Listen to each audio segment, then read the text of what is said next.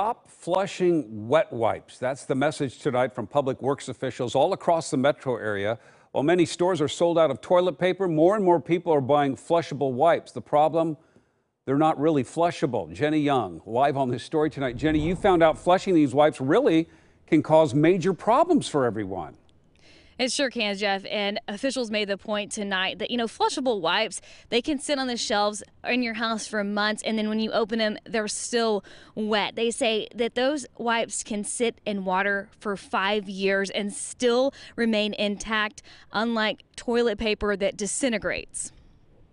Wet wipes, baby wipes, flushable wipes, whatever you call them, public works officials say they're a nightmare for our sewage systems and should never be flushed down your toilet. They are terrible for our treatment process. Officials in Clackamas County sent us these pictures of employees cleaning out sewage pipes clogged with so called flushable wipes. We found out flushable wipes are one of the most common causes of sewage overflows. They damage pump systems and other equipment used to treat the water system. We can potentially have a situation where uh, we create a, a, a, clog in the sewer system and flushable wipes create uh, a clog that it backs up so much that it overflows a manhole onto the street you know into into somebody's yard. Greg Eyerly with Clackamas Water Environment Services says the packaging on wipes can be misleading. It'll flush down the toilet, but that's I mean a toilet right an American Standard Champion toilet will flush 16 golf balls. Bottom line,